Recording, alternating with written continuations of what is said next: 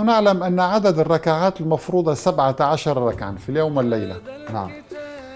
وعدد الحروف المستخدمة في بناء الأذان بناء كلمات الأذان هي سبعة عشر حرفا من حروف اللغة فقط استخدمت في الأذان.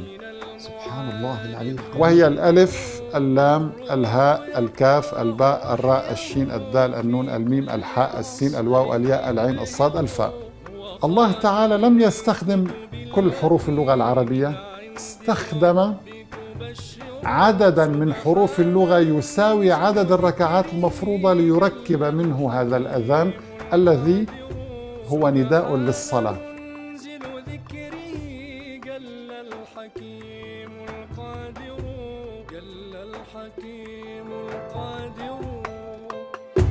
هذا الكتاب النير.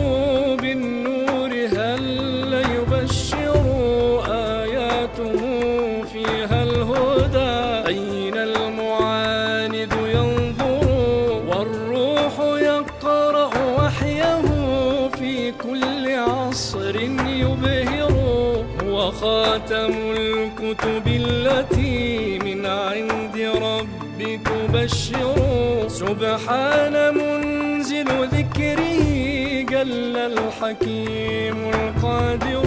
سبحان منزل ذكره جل الحكيم القادر. جل الحكيم القادر.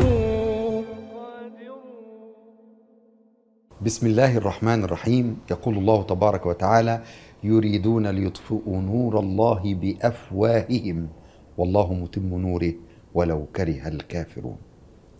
حبة الكرام أمرنا بالتدبر في كتاب الله تبارك وتعالى ومن أعظم صور التدبر أن نتطرق إلى ما احتوى القرآن من آيات الإعجاز العلمي في القرآن والسنة.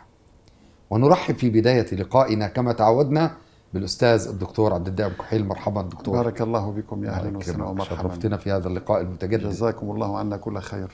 دعنا دكتور نسأل سؤال نبدأ به حلقتنا. وسؤال قصير ولكنه مفاجأة وصادم لكن سنستفيد من إجابتك. نعم. لماذا الإعجاز العلمي؟ بسم الله الرحمن الرحيم. الحمد لله رب العالمين والصلاة والسلام على سيدنا محمد وعلى آله وأصحابه صلى الله عليه وسلم.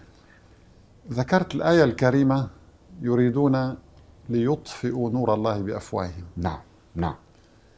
اليوم الحرب على الإعجاز وعلى الإسلام بشكل عام ماذا يستخدمون فيها؟ الأفواه الإعلام الكلام. صحيح. فهي حرب كلامية فقط. وعلى مواقع التواصل. نعم مواقع كلام. التواصل والفضائيات وال- وغير ذلك. طيب النبي عليه الصلاة والسلام كيف يتنبأ بأنه سيأتي زمن تشتعل فيه حرب على الإسلام بالأفواه فقط؟ سبحان الله. يريدون أن يطفئوا نور الله بأفواههم ويأبى ويأبى الله إلا أن يتم نوره. ولو كره الكافرون. عجيب الاختيار بكلمة بأفواههم سبحان الله. نعم أول مرة أركز معها. يعني سبحان الله. نعم. تفضل دكتور. لذلك هذه هذه الآية الكريمة تنبئك أيها المؤمن لا تحزن فهذه الحرب مستمرة حتى يرث الله الأرض ومن عليها. وهي حرب ولكن أفواه. حرب أفواه فقط. نعم نعم. وسوف وسوف تفشل. الله أكبر. نحن الآن حسب مركز بيو ريسيرش الأمريكي الشهير جدا والموقع الإحصائي رقم واحد الموثوق بالنسبة للعلماء.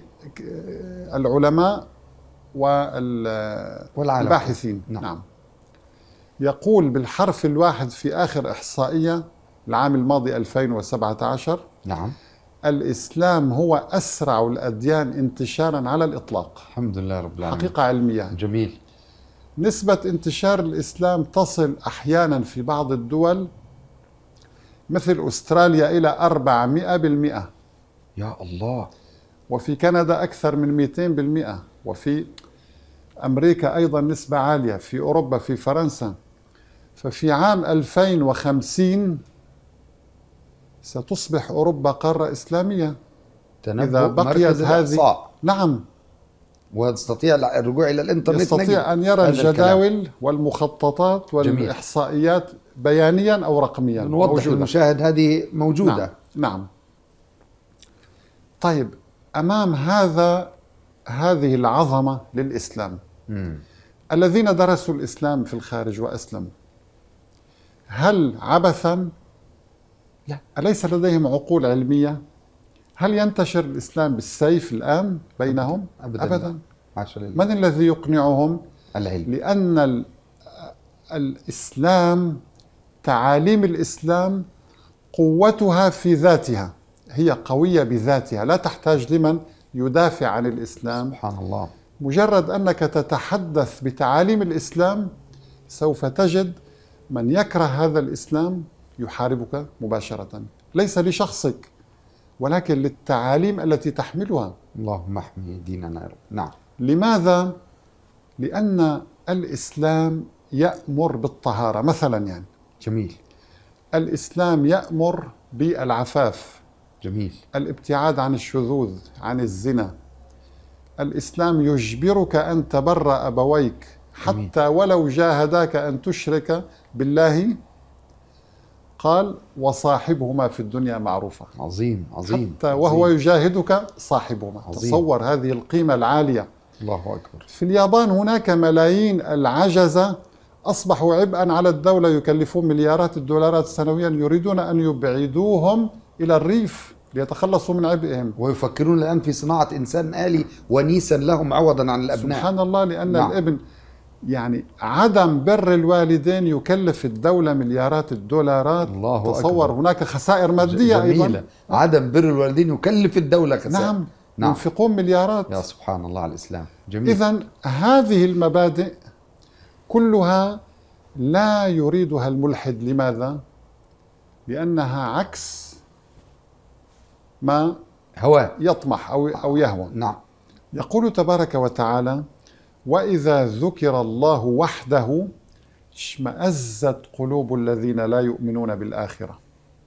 لا إله, وإذا ذكر الذين من دونه إذا هم يستبشرون. لا إله إلا الله. يعني مثلا انظر إلى صوت الأذان هذا الصوت الرائع الذي كان سببا في إسلام الكثيرين. نعم. هناك من ينزعج منه هناك من يعني لا يرغب بسماعه. مع الأسف. يشمئز قلبه. لذلك سبحان الله في كلمات الأذان هناك إعجاز يسحر القلوب. الله أكبر. يعني شوقتنا يعني تصور أنا أريد أن أخاطب الملحدين الذين يدعون أن النبي هو الذي اخترع الإسلام. مم. فقط بمعجزة الأذان. هذا الأذان من أين جاء به النبي؟ طبعا هو وحي من الله سبحانه وتعالى. نعم. الأذان فيه إعجاز عددي يتناسب مع معنى الكلمات الموجودة في هذا النص الرائع. إعجاز عددي في الأذان. نعم. جديدة دي. نحن نؤذن أو المؤذن يؤذن في اليوم خمس مرات صح؟ صحيح. نعم. ونقيم الصلوات خمس صلوات. خمس صلوات نعم. والصلاة طبعا فرضت ليلة الإسراء والمعراج نعم. لعظمها. نعم. في سورة الإسراء سبحان الذي أسرى. أسرى بعبده ليلا. نعم. آية من آيات طيب. الله. نعم. دعني أتأمل معك فقط بعض هذه العجائب جزء يعني من هذه العجائب لندرك عظمة هذا الأذان ولماذا يكره هؤلاء الملحدون يكرهون كلام الله وهذا الأذان. دعني أتأمل معك هذا النص الإلهي الرائع جميل. لكلمات الأذان وعلاقته بأشهر السنة لأنه لا ينقطع على مدار السنة. نعم. والأماكن كمان بلاد. وفي كل مكان سبحان نعم الله حسب في خطوط العرض الأذان مستمر. نعم مستمر سبحان الله. نعم. هذا الأذان الله أكبر الله أكبر الله أكبر الله أكبر أشهد أن لا إله إلا الله أشهد أن لا إله إلا الله. أشهد أن محمد رسول الله أشهد أن محمد رسول الله حي على الصلاة حي على الصلاة حي على الفلاح حي على الفلاح. الله أكبر الله أكبر لا إله إلا الله. لدي هنا إثنى عشر مقطعا بعدد أشهر السنة. صحيح 12 مقطع. فهو لا ينقطع أبد الدهر. علاقة عددية ربانية. سبحان الله. سبحان الله. وآخر عبارة هي لا إله إلا الله التي قال عنها النبي صلى الله عليه وسلم خير ما قلت أنا والنبيون من بعد لا إله إلا الله ختم بإثنى عشر حرفا. لا إله إلا الله تتألف من إثنى عشر حرفا. جميل جميل. ومحمد رسول الله تتألف من إثنى عشر حرفا. شو توازن. الرائع ده ما شاء سبحان الله, الله. يعني انظر جميل. إلى وكلمة شهر ذكرت في القرآن منفردة 12 مرة أيضا بعدد أشهر السنة سبحان هذا الله. التناغم. سبحان الله سبحان الله. إذا أنا لدي أولا بناء هندسي يتعلق بأشهر السنة ولكن هذا البناء لابد أن يتعلق بعدد الركعات والصلوات صحيح. ومضاعفة الأجر. معقول؟ سنجدها في الأذان؟ أكيد. لنرى اللوحة التالية. لنكتشف هذه العجائب سبحان الله العلي. وهذه ال- ال- الغرائب التي يعني الأذان يتألف من خمسين كلمة. جميل. الأذان يرفع كم مرة؟ خمس مرات. نعم. والحسنة بكم؟ بعشر أمثالها في إذا القرآن. خمسة مضروب في عشرة يساوي خمسين فهو خمسين كلمة. سبحان النبي صلى الله عليه وسلم عندما خاطبه الله سبحانه وتعالى قال له هي خمس وهي وهي خمسون. خمسون في الأجر. خمس نعم في العمل خمس خمس صلوات. وخمسون. ولكن في الأجر خمسون. لذلك جاء هذا الأذان مضاعفا عشر أضعاف أوقات الصلاة خمسين كلمة ليقول لك إن الحسنة. من جاء بالحسنة فله عشر أمثالها. أمثالها. جميل الربط ده ما شاء الله. سبحان الله. تبارك الله تبارك الله. نتابع. يا يا ريت يا دكتور لأن أنا متشوق. حتى اللوحة ال- طيب اللوحة التي بعدها فقط لنكتشف نعم. ماذا يمكن أن أن يعني كنوز. آه، نرى نعم. نحن نعلم أن عدد الركعات المفروضة سبعة عشر ركعا في اليوم والليلة. نعم. وعدد الحروف المستخدمة في بناء الأذان بناء كلمات الأذان هي سبعة عشر حرفا من حروف اللغة فقط استخدمت في الأذان. سبحان الله العلي القدير. وهي الألف اللام الهاء الكاف الباء الراء الشين الدال النون الميم الحاء السين الواو الياء العين الصاد الفاء. الله تعالى لم يستخدم كل حروف اللغة العربية استخدم عددا من حروف اللغة يساوي عدد الركعات المفروضة ليركب منه هذا الأذان الذي هو نداء للصلاة. بعد هذا الكلام يا دكتور نقف. نعم. متعجبين منبهرين. لا يمكن هذا النظم حروفا وكلمات. والأذان ليس صورة من صور القرآن. الأذان آه، هو آه، ما, ما, ما. أراده الله تبارك وتعالى نداء للمسلم حتى يرى إلى الصلاة. فما بالنا إذا جئنا أحبة الكرام إلى الإعجاز في آيات القرآن؟ حتما سنجد فيها إعجاز رقمي وبياني وعلمي أكثر أيضا من الأذان الذي تحدثنا عنه وما ينطق عن الهوى إن هو إلا وحي يوحى. صدق الله العظيم. أنزله بعلمه. تذكرت أيها الأحبة الكرام قول النبي صلى الله عليه وسلم لبلال أرحنا بها يا بلال. أتاري سماع الأذان وإقامة الصلاة والوقوف بين يدي الله راحة. وتعجبنا ممن نسمعهم في القنوات وفي وعلى اليوتيوب والمقاطع ينفرون من الأذان. لقد أسلم الكثيرون لصوت الأذان. وهذا ما دعا باحثنا الكريم دكتور عبد الدائم أن يبحث ربما يجد يعني حكمة وعبرة إلهية في كلمات الأذان واكتشف لنا كما في الجزء الأول أشياء جميلة عشنا فيها ونستكمل الرحلة الإيمانية مع الأذان ومع الدكتور عبد الدائم تفضل. إذا نحن رأينا أن الله تعالى عندما بنى هذا الأذان بناه بطريقة هندسية تتناسب مع الهدف منه جميل. ومع معاني كلماته. جميل. يعني هذا الأذان يجب أن يرفع على مدار السنة 12 شهرا فجاءت مقاطع الأذان عددها 12 سبحان الله سبحان الله. هذا الأذان يجب أن تؤدي بسببه خمس صلوات والصلاة بعشر أمثالها. إذا عشرة في خمسة بخمسين فجاء خمسين كلمة. الله أكبر. هذا الأذان ينبغي أن تصلي من أثناء سماع الأذان أنت تصلي الصبح ركعتين الفجر نعم وأربعة الظهر الظهر وأربعة العصر. العصر عشرة. والمغرب ثلاثة والعشاء أربعة المجموع سبعة عشر ركعة ما علاقته بالأذان؟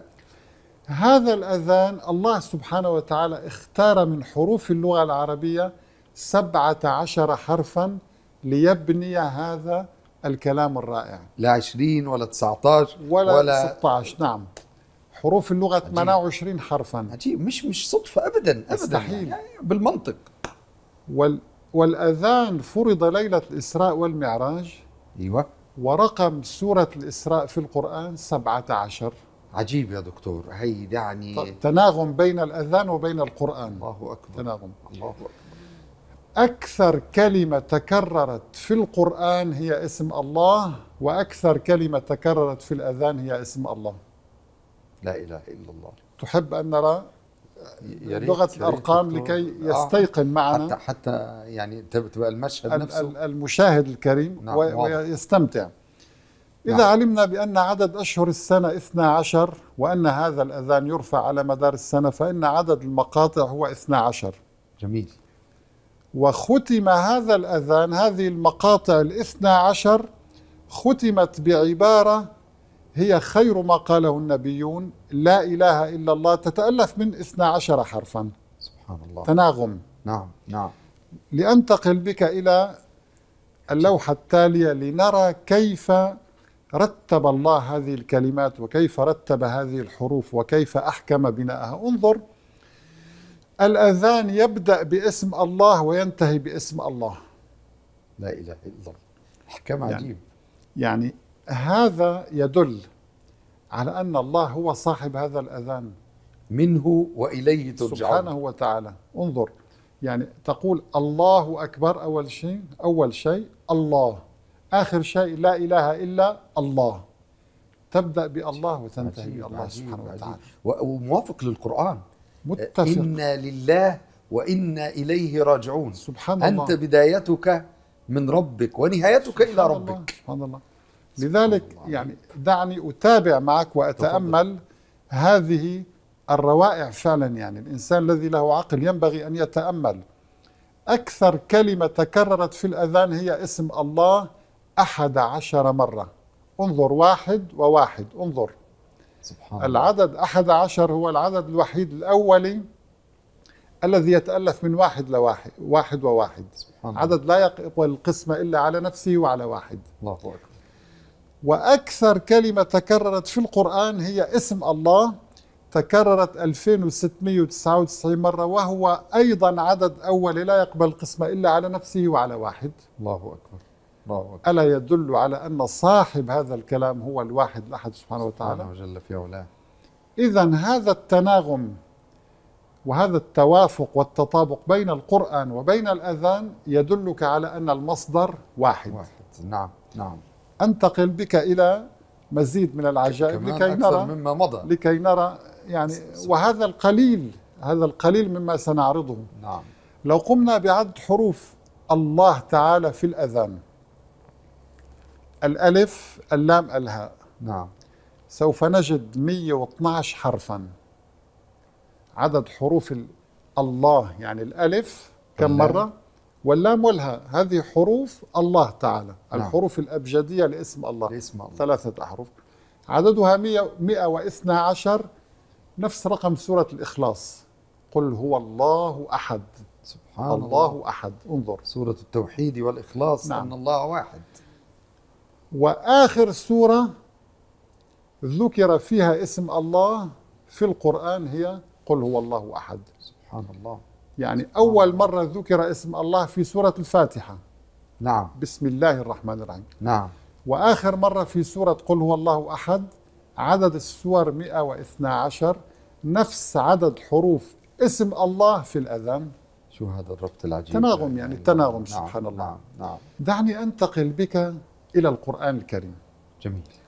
نحن نعلم أن الإنسان أو المؤمن يركع لله سبعة سبعة عشرة مرة في نعم. اليوم والليلة. الفروض. نعم.